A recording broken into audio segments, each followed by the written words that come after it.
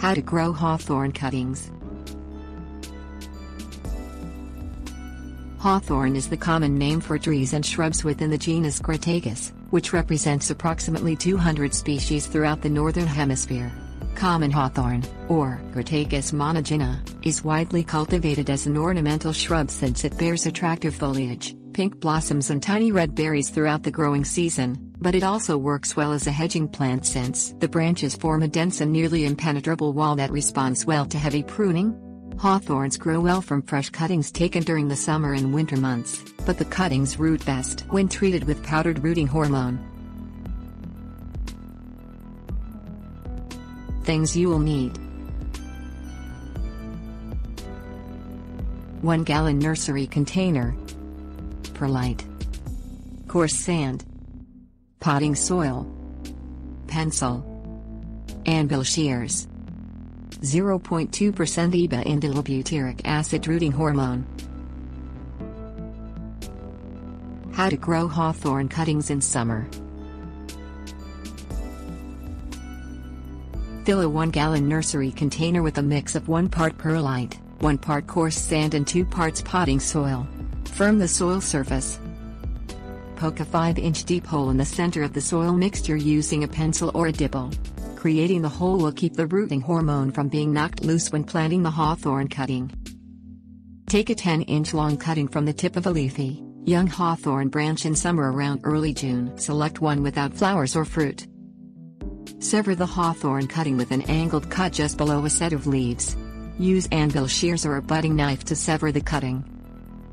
Remove the lower sets of leaves so approximately 4 to 5 inches at the base are completely defoliated. Brush the defoliated end with 0.2% EBA rooting hormone. Insert the hawthorn cutting into the prepared hole in the rooting container. Push the soil mixture against the base. Pour 3 cups of water around the base of the cutting. Set the nursery container outdoors in a partially shaded area with limited sun exposure. Avoid areas with direct sunlight for more than 45 minutes each day. Add 3 to 4 cups of water to the soil whenever it feels dry 1 inch below the surface. Avoid adding water too liberally since wet soil might cause the cutting to rot. Check for roots in 20 to 30 days. Tug on the stem where it emerges from the soil to feel if the hawthorn is stuck to the soil by roots. Transplant the hawthorn cutting 2 weeks after rooting. Choose a planting site with fertile, draining soil and full sun. How to grow hawthorn cuttings in winter. Prepare rooting container as described in steps 1 and 2 of section 1. Make it ready in late winter around early February. Select a 10 to 12 inch long cutting from the tip of a mature hawthorn branch. Choose a cutting with dormant, barely swollen leaf buds and a diameter of approximately 1 quarter inch. Sever the cutting at a 45 degree angle using anvil shears or a budding knife. Make the cut just below a leaf node. Scrape off the lower two leaf nodes with a blade of the shears or knife. Brush the exposed leaf nodes and base of the hawthorn cutting in 0.2% EBA rooting hormone. Tap the cutting to knock loose any caked on or excess hormone.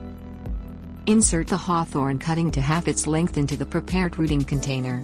Pour 3 to 4 cups of water around the base to settle the soil. Set the nursery container against a south-facing wall that offers some protection from strong winds. Check for roots in spring once daytime temperatures stay above 65 degrees Fahrenheit for 10 to 14 days. Tug on the hawthorn cutting to test if it is anchored by root growth.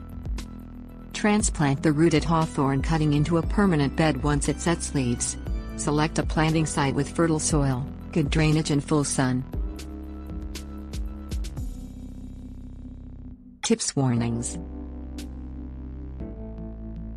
Hawthorns grow best in USDA hardiness zones 4 to 8B.